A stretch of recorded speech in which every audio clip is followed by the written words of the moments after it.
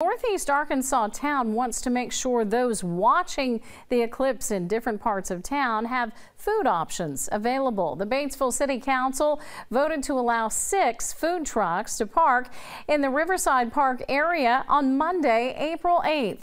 The city said it expects many people to try and view totality from that area.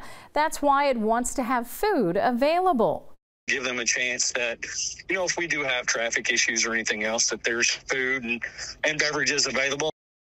The food trucks will set up on the morning of the eclipse. To see other organizations and communities planning for the eclipse, just go to kait8.com slash eclipse.